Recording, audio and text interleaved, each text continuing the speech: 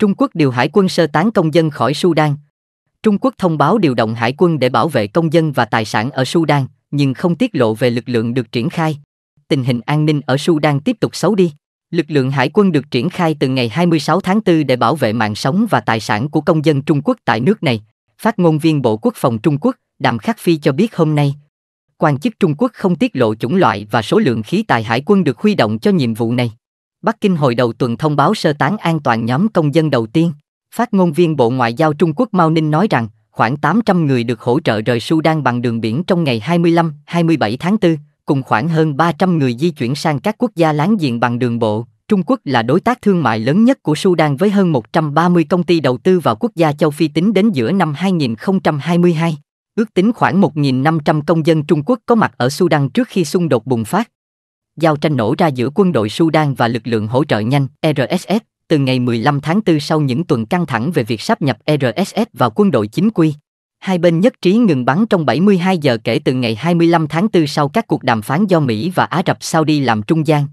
Tuy nhiên, nhân chứng cho biết nhiều cuộc không kích vẫn diễn ra và RSF tuyên bố kiểm soát một nhà máy điện cùng một nhà máy lọc dầu lớn. Liên Hợp Quốc cho hay ít nhất 512 người đã thiệt mạng và hơn 4.000 người bị thương từ khi giao tranh bùng phát.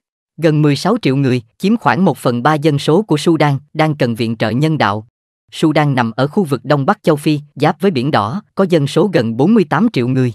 Đây là vùng đất giàu tài nguyên thiên nhiên nằm giữa khu vực hạ Sahara và Trung Đông, nhưng các cuộc xung đột liên miên khiến Sudan không thể phát triển về kinh tế.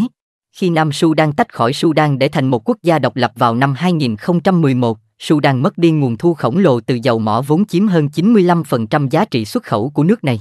Cú sốc đó đã gây ra lạm phát phi mã, kết hợp với giá nhiên liệu tăng đã châm ngòi làn sóng biểu tình bạo lực năm 2013, khủng hoảng kinh tế ngày càng trầm trọng thúc đẩy quân đội Sudan hồi tháng 4 năm 2019, đảo chính lật đổ Tổng thống Omar al-Bashir, người nắm quyền lãnh đạo đất nước từ năm 1993 và từng nhiều lần bị phương Tây chỉ trích, RSF, lực lượng bán quân sự được thành lập năm 2013, thuộc quyền quản lý của Cơ quan An ninh và Tình báo Quốc gia Sudan, dưới thời Tổng thống al-Bashir, đã ủng hộ quân đội trong cuộc đảo chính.